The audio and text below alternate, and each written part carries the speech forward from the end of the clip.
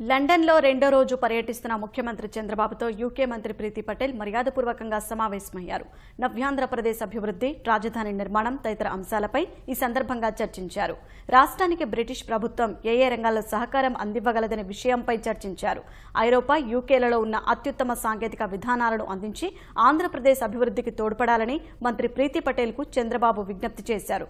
గతంలో తాను ఉమ్మడి ఆంధ్రప్రదేశ్ ముఖ్యమంత్రిగా ఉన్నప్పుడు హైదరాబాద్లో సెంటర్ ఫర్ గుడ్ గవర్నెన్స్ మానవ వనరుల అభివృద్ధి సంస్థ ఏర్పాటులో యూకే ఎంతో సహకారం అందించిందని చంద్రబాబు గుర్తు చేసుకున్నారు.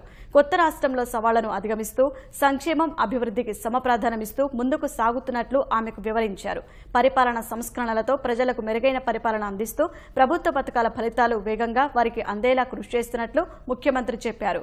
ఈ ప్రగతి కార్యక్రమాలను ప్రస్తావించారు. అధునాతన సాంకేతిక పరిజ్ఞానాన్ని ప్రభుత్వ పరంగా వినియోగించుకుంటున్నట్లు తెలిపారు. రాష్ట్రంలో డ్రోన్లు బిగ్ డేటా సీసీటీవీ కెమెరాలు ఆర్టిఫిషియల్ ఇంటెలిజెన్స్ స్పెన్సర్లు తదితర ఐటీ ఐఓటీ విస్తృత వినియోగం గురించి ముఖ్యమంత్రి వివరిస్తున్నప్పుడు ప్రీతి పటేల్ ఆసక్తిగా విన్నారు. ఆంధ్రప్రదేశ్ సాంకేతిక ప్రగతిని ముఖ్యమంత్రి చంద్రబాబు దార్శనిక విధానాలను ఆమె ప్రశంసించారు. నవ్యాంధ్రప్రదేశ్కు అన్ని విధాల సహకారం అందిస్తామని ప్రీతి పటేల్ హామీ ఇచ్చారు.